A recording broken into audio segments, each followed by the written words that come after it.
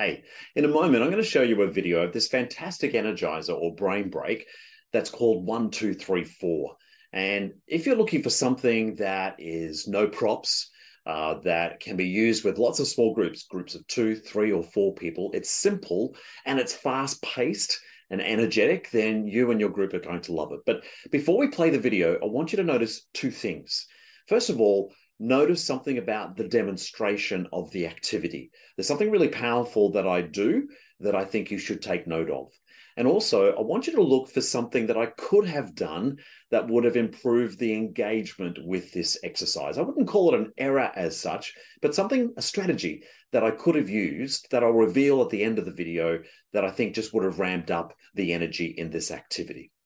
Anyway, for now, let's hit the play button on one, two, three, four.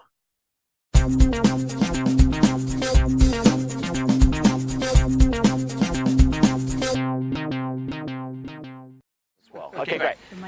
In this exercise, in whether it's twos or threes, and when Nate's ready, he can come and join you guys, is that uh, it's called one, two, three, four, and that just simply means you're going to clench your fist in the middle of your group and bounce it up and down four times. So it'll look like one, two, three, four. But on four, is that you need to extend a certain number of fingers on your hand. So, for example, it might look like one, two, three, four.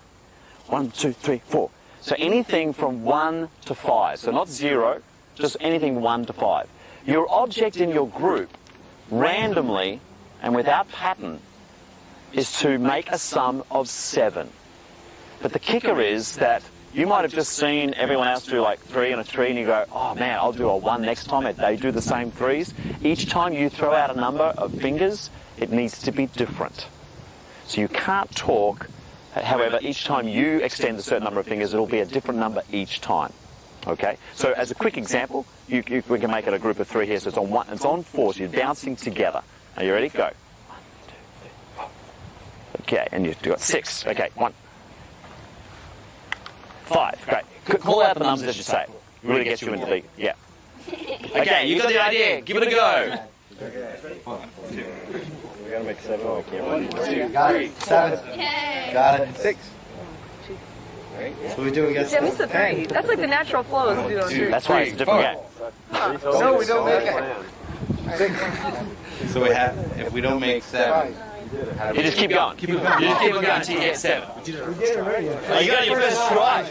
All right, then your object is how many times you get it in 30 seconds. Oh, you're right, you're right, All you're right. three of us making seven all together. Is that the? All three sum together.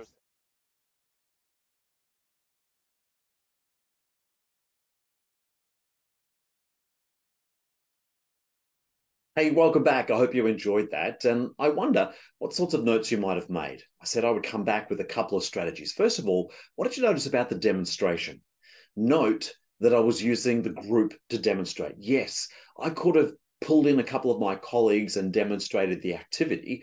However, there's some real power in actually using a real group. First of all, it demonstrates to everybody else that it's possible. Because if I use my colleagues, we all assume that we know what we're doing. But I can also use that demonstration to clarify things. So I didn't just simply give the instructions and step back. I actually did a demonstration with a real group to actually make that far more powerful. And here's the other thing not so much an error, but did you notice that even in that short period of time where you're watching the groups actually play the game, that a couple of groups got to seven really quickly? And what did you notice then? They quickly disengaged. You could tell that about the way they held their bodies. So, what I would do next time, and what I do from now on, is that I encourage them to get to that number as many times as they can in 30 seconds or 60 seconds. I, I engage them with some level of competition. So, here's another thought. Maybe you could use flip chart or whiteboard or list the numbers some way and their object is that every time they get to the number, they move to the next number on the list. And the competition, the challenge is to get it through as many of those numbers that, as they can within that time period that you allocate. Here's a couple of other things. One, there's no magic in the number.